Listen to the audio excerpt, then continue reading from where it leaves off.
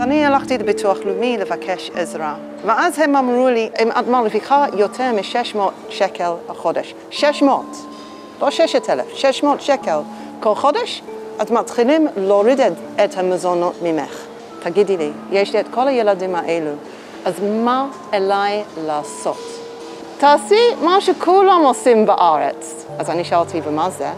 אז היא אמרה לי, תעבדי בשחור. נעמי היא אם חד-הורית שאבי ילדיה מסרב לשלם לה מזונות.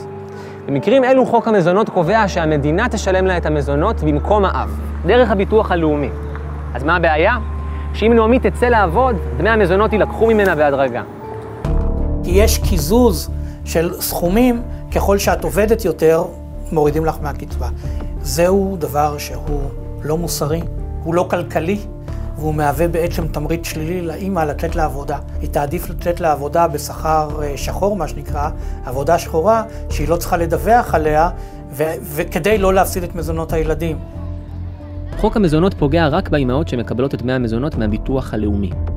לדוגמה, אם חד-הורית שמקבלת דמי מזונות מאב ילדיה, יכולה להרוויח כ-4,000 שקלים מדי חודש, לקבל עוד 2,000 שקלים מזונות, ובנוסף גם קצבת עבודה חודשית מהמדינה בסך של 600 שקלים. בסך הכל היא מכניסה 6,600 שקלים בחודש. אבל אם חד-הורית אחרת, שההבדל היחיד הוא שאבי ילדיה מסרב לשלם לה דמי מזונות ולכן היא מקבלת אותם מהביטוח הלאומי, תאבד על פי חוק המזונות 27% מדמי המזונות אל מול כל שקל מפרנסתה. כלומר, המדינה תקזז כ-1,000 שקלים מהמזונות שלה בגלל שהיא יצאה לעבוד. בנוסף, היא אינה זכאית לקבל במקביל קצבת עבודה, ובסך הכל היא תכניס כ-5,000 שקלים בחודש בלבד. כך, החוק מעניש ומדרדר את האימהות החד-הוריות החלשות ביותר, אלו שאבות ילדיהן לא מסייעים להן, לעוני.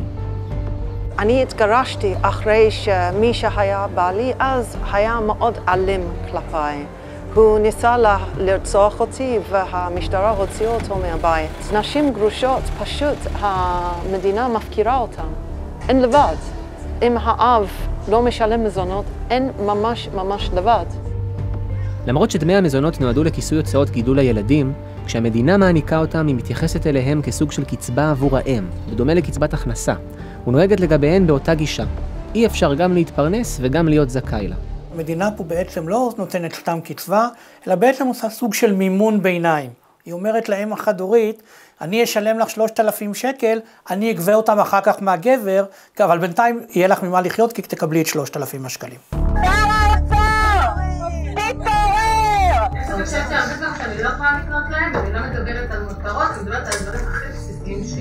הקואליציה להבטחת תשלום מזונות, המורכבת ממספר ארגוני נשים, מנהלת מאבק ארוך שנים מול גורמים ממשלתיים שונים במטרה לתקן את החוק, כך שקבלת דמי מזונות מהביטוח הלאומי תנותק משכר האם. לאחרונה נדמה היה שדברים משתנים לטובה. אחרי מסע אה, גם תקשורתי וגם אה, לוביסטי, אנחנו הגענו ושכנענו, שרת המשפטים גם הופיעה בטלוויזיה עם תגובה אה, והיא בעד השינוי. המוסד לביטוח לאומי נכון לשנות את הנוסחה ואת הדרך שהחוק מיושם. אה, הוצאה לפועל מוכן לשתף פעולה והאוצר היה מוכן, אפילו הקציב 50 אה, מיליון. אבל בחודש האחרון גילו הפעילות לאכזבתן שהמדינה מתכוונת לוותר על שינוי החוק ולהשקיע את הכסף שהוקצה למטרה זו באופן אחר. בסופו של דבר, חברת כנסת הממונה על, על הוועדה אומרת, האוצר רוצה להעביר את הכסף למקום אחר, גם לחד-הוריות, אבל משהו אחר שהוא שולי בעינינו. שהוא לא התיקון של השורש, של הבעיה השורשית. שוחחנו עם חברת הכנסת מירב בן ארי, שעומדת בראש הוועדה לשינוי חוק המזונות. מה העמדה שלך? אני חושבת שצריך לבטל, אבל אני אומרת שאנחנו נתקלנו בחומות בצורות מאוד חזקות, ולכן אנחנו מנסים ועובדים כיום על תוכנית שהיא אחרת, אנחנו רוצים לתת להם מענקים שיעזרו להם, מענקים מחד הורית שהיא עצמאית עד לחד הורית שהיא שכירה, לעזור להם במעונות, בצהרונים. דיברתי עם אימא אחת שהיא אמרה לי, זאת אומרת, אני לא רוצה שיעזרו לי, אני לא רוצה להיות נזקקת, אני רוצה שייתנו לי את מה שמגיע לי. תאמין לי, אני איתך.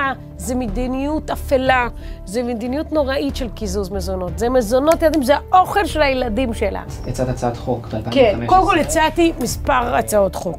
בעצם לבטל את ההתניה הזאת. כן, באמת אמרתי חמש שנים ראשונות לא לקזז. איפה? אצל מי זה לא התקבל? לא התקבל מבחינת אה, האוצר, מבחינת אגף תקציבים בעיקר. בגלל השלכות. השלכות הרוחב. זה עלות של מיליונים.